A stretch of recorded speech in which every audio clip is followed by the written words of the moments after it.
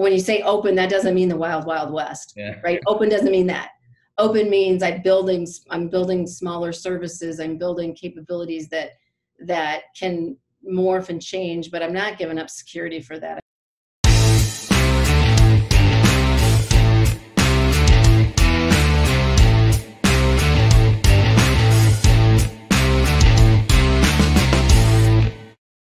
Hey guys, this is Insurance Insiders and Insights at IBM. Today we have a very special guest. It's Bea Elbert Global Insurance General Manager at IBM. Thank you very much for joining us here today.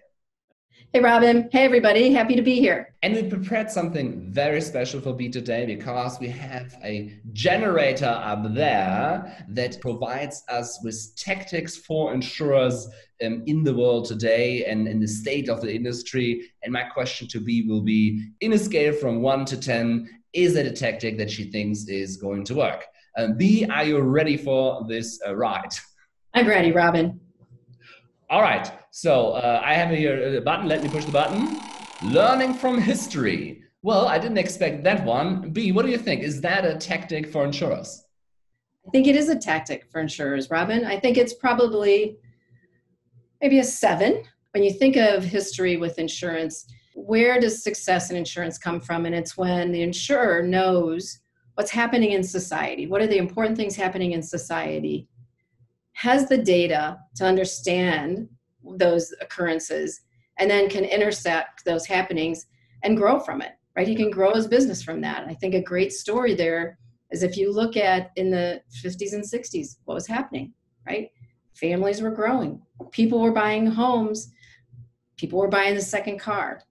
And it was those insurers that knew that trend was coming in and it was going to sustain itself for a while they built their companies around that to intersect and they grew. So history says for insurance, for what they do, they sell a promise, they sell security. Look for those societal trends where people need to, to be secure and ensure what's happening to them. And that's where you'll find some of the growth trends. So, yes, history is important. All right, let's go for the next one. We have a few more left. Platform economics. In a scale from one to 10, is that a strategy and a topic an insurer should go to? I think they should. It's early in the process, right? The adoption of platform economics. And it's really, platform economics is really around expanding your business model. What, as an insurer, should I do besides selling policies? You could look at selling services to those policyholders. That's part of their need. Like I said earlier, societal changes, right? So, for an example, if I have a policyholder that, you know, an elderly policyholder, right? She no longer, that person no longer maybe needs a, an auto policy, but now they do need services to be able to stay in their home. Yeah. And on a, on a platform, I could provide a subscription to those services, whether it's for something like grocery delivery or even monitoring capabilities in their home, et cetera. Oh, insurers are doing that today right? Like I said earlier, it's early in the process, but they're doing that and they're building those platforms. And more importantly, they're building those network relationships, those business network relationships that, you know, will be a part of the technology to enable that. And are there already first movers in the market uh, in, around the world uh, where you say, oh, well, they're actually really doing this platform economics thing?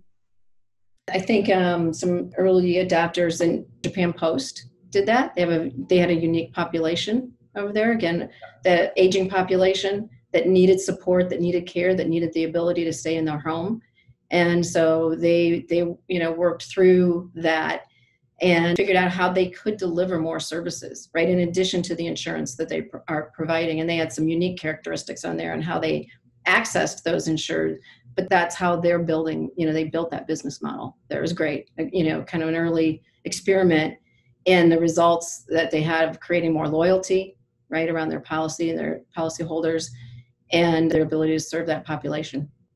All right, let's go to the next topic.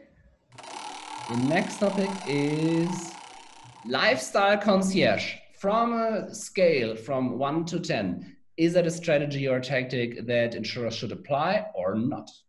I would put this in the category, I would put that in a seven or okay. eight right now and partially because of the uh, capabilities of where everyone is and understanding what that is.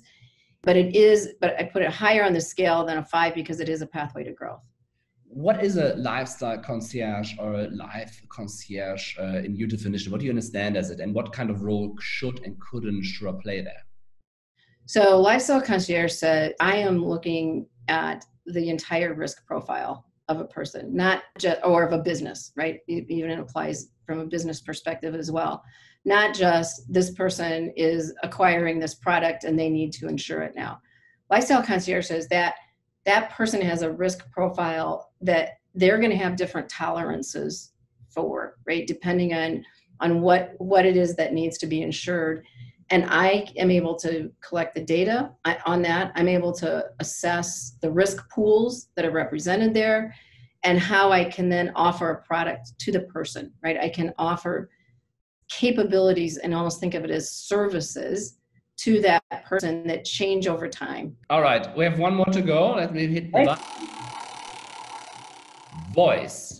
Do you think that's something uh, insurers should uh, do or not as a tactic uh, in a scale from one to 10? How do you think people like to communicate?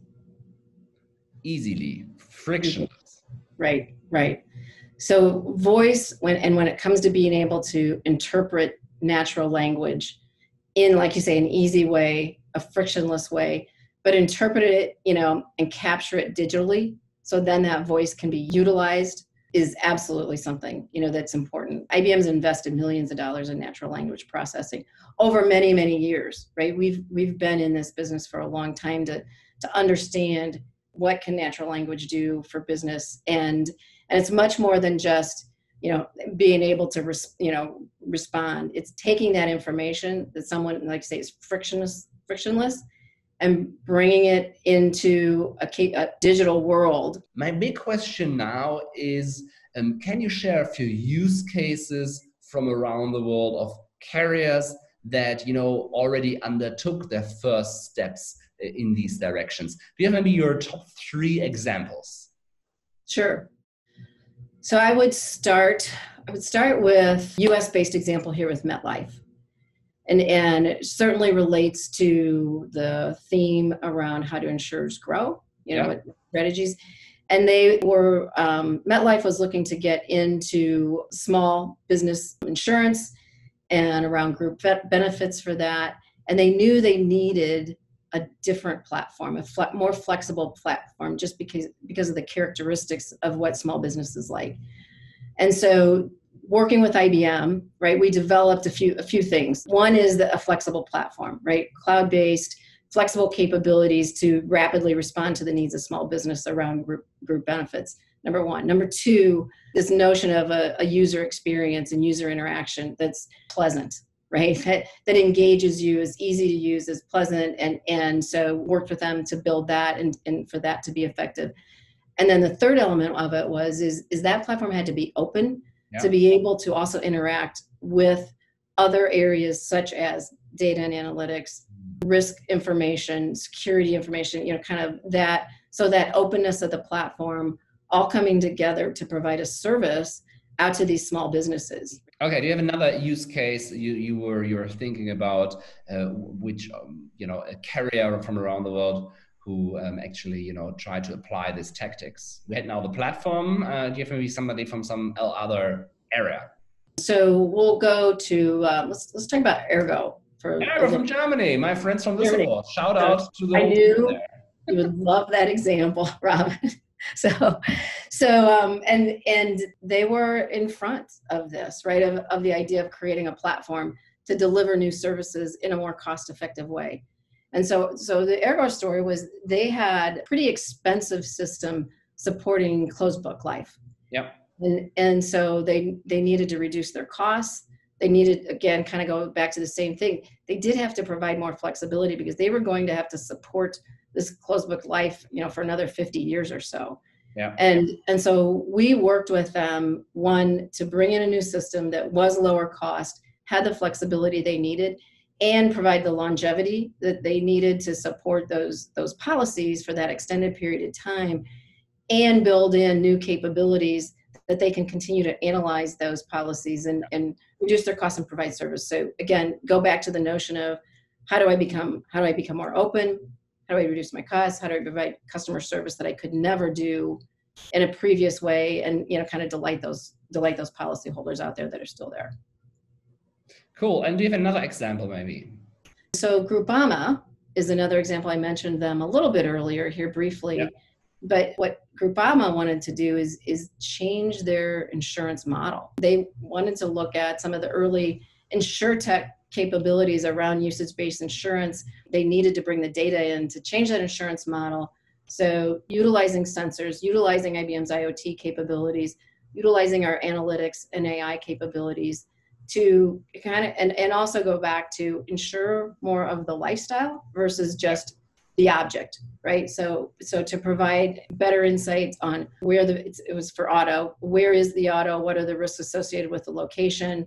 Certainly what are risks associated with the driving habits? Yeah. what are risks associated they brought in weather data geospatial data and delivered outcomes to be able to reduce the cost right from 5 to 10 percent for each insured that was there. And so, and so it had a direct reduction in cost, direct reduction in collisions. So they, you know, they reduced the collisions and and reduction in the claims because of kind of the early warning and detection capabilities that are there. So that, you know, again, new ways of bringing together insights and information, change your business model, and grow your revenue. Bea, it has been a pleasure.